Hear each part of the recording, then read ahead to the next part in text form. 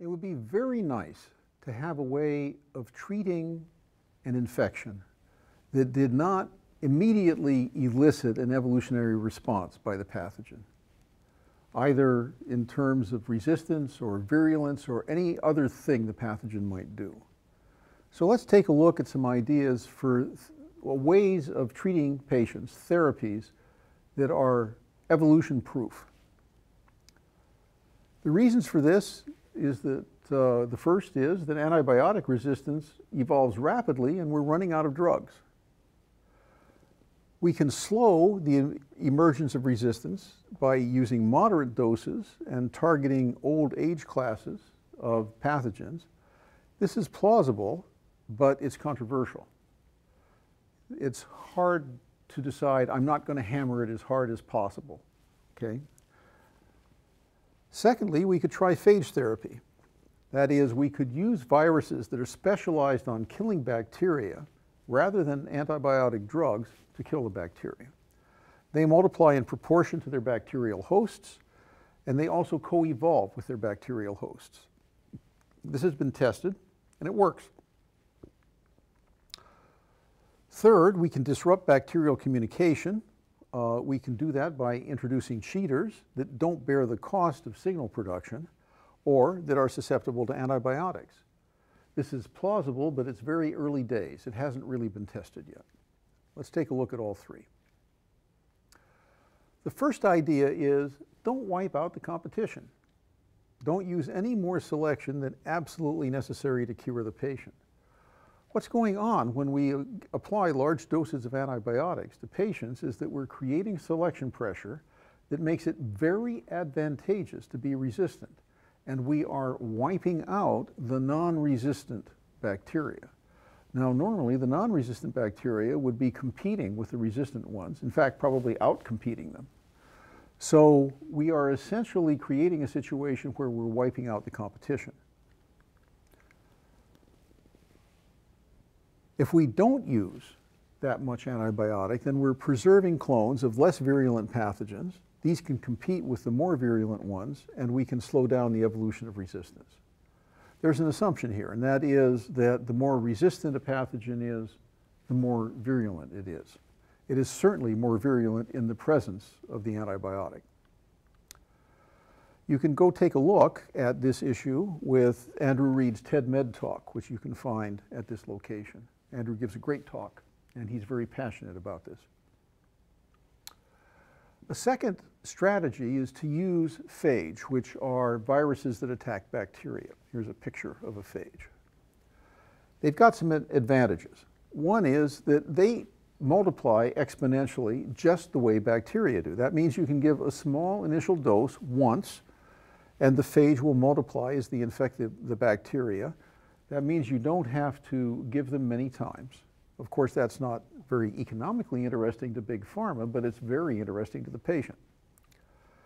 Phage also mutate during replication, as do bacteria, and they produce new phage that can recognize altered bacteria. We've seen that bacteria are shapeshifters, but the phage can keep up with them.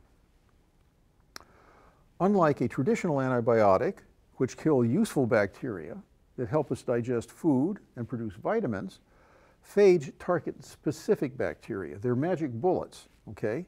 And that reduces the chance that the useful bacteria will be killed. In other words, with phage therapy, it's unlikely that debilitating diarrhea would result from taking a course of therapeutic whatever. That often happens with antibiotics. Here's the history of phage therapy. Phage were first discovered about 1915, and by 1928, a Frenchman had already tried phage therapy. You can pull this up and look at it in more detail.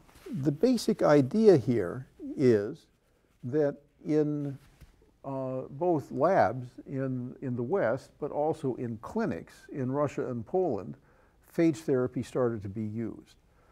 About the 1940s, there was an eclipse. That's when antibiotics came along. Penicillin became popular. Then the other antibiotics came in.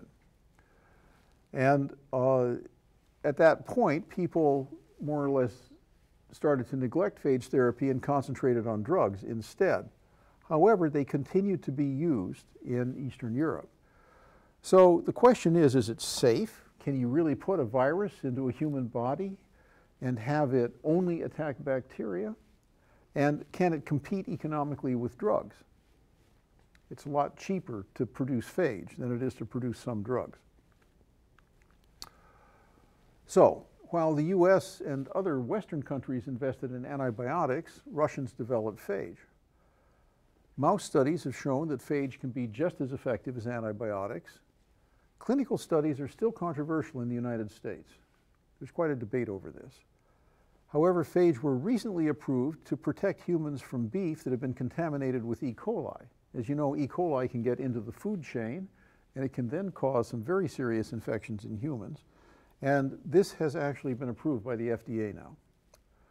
So in Russia, it was used in the Second World War to treat field wounds and cholera. And in the US, it is used to disinfect meat. Here is an example of a recent trial. It was done with Clostridium difficile. It's a major cause of hospital-acquired diarrhea. And it, phage were used because Clostridium has evolved multiple drug resistance, so the drugs weren't working.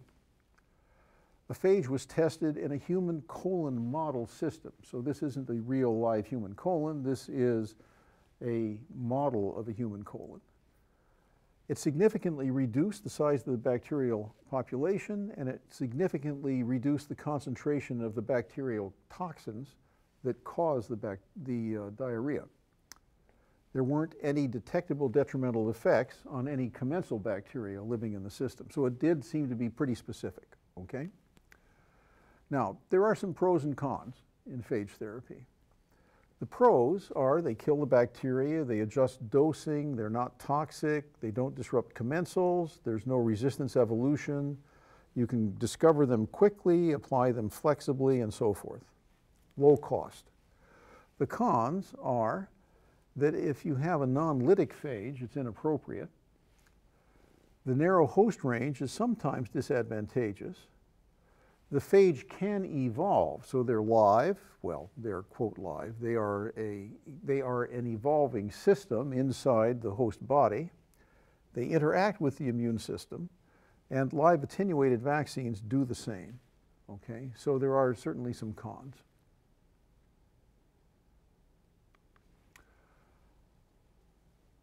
Another place where we can apply viral therapy is in attacking cancers. So here we have a picture of a group of, of cells. The blue ones are normal, the orange ones are cancer cells. We inoculate with phage that has been engineered to specifically attack the cancer cells. And eventually, the dead cells here, are here indicated by gray, the cancer dies. So this is a case where non-pathogenic viruses are being developed to find and to destroy tumors. One nice thing about this is viruses have none of the side effects of chemotherapy. They are not going to cause hair to fall out and the intestinal lining to slough off. Mouse studies of this kind of system are quite promising, and VSV is a candidate virus for use in human anti-cancer therapy. This is what it looks like. And the particular part of the VSV molecule or the coat that's being modified is this M unit right here. The third major strategy for producing evolution-proof therapy is to try to manipulate the social evolution of bacteria. Bacteria communicate with each other. They produce signaling molecules. And the reason they do that is they aren't going to attack the host until they get a signal that a certain threshold density has been attained. In other words, the bacteria wait until they're sure that there are a lot of colleagues present to try to attack. A, if only a few bacteria attack a host, it's quite probable they'll all be killed by the immune system. But if they go in en masse, then they have a good chance of establishing a beachhead. That's why these communication systems are set up. If these signals are disrupted, it might be difficult to re-evolve them because of costs imposed by cheats. What do we mean by a cheat? A cheat is a bacterium that doesn't make the signal. And what that does, essentially, is it creates a condition where it will be hard for the signal-making bacteria to, to re-invade a population composed mostly of cheaters.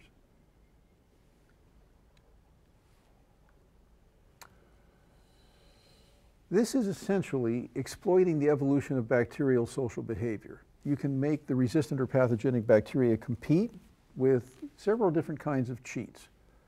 Cheats that don't produce public goods, that is, these signals. Cheats that carry a medically beneficial allele, that's a Trojan, a Trojan horse cheat.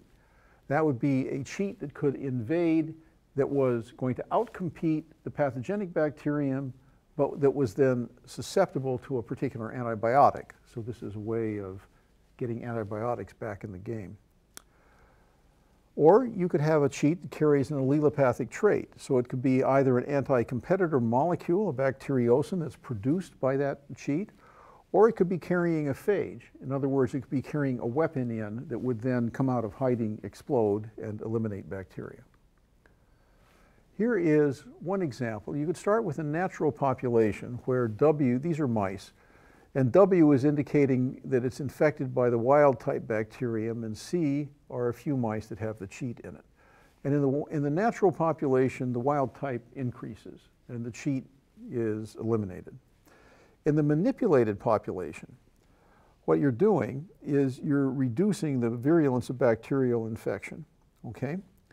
And what's happening here is that the cheats are increasing in frequency in the next mouse generation. More of them are infecting the population because of some, infect, uh, some manipulation, which is done by the experimenter.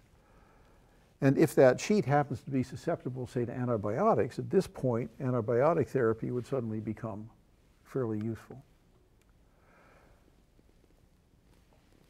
That is laid out in a bit more detail here. You can have infected hosts that are infected with wild type you can inoculate them with cheaters.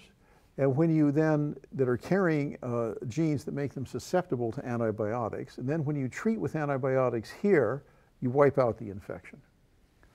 So these sorts of scenarios are theoretically interesting and they are being played out in laboratory experiments at this point, but thus far they have not advanced to the stage of saying, yes, we really have a workable therapy. So this third type, where there's manipulation of bacterial signaling and introduction of bacterial cheaters into populations is very much in an early developmental stage. So to summarize, pathogens rapidly evolve resistance to drugs. And that has motivated people to look for ways of curing infections that do not elicit this kind of evolutionary response. Evolution can be slowed down by not treating too intensely. Phage therapy is quite promising. It's been used in Eastern Europe. It's more controversial in the West. Disrupting bacterial communication and social coordination is quite intriguing in theory, but it has yet to be demonstrated in practice.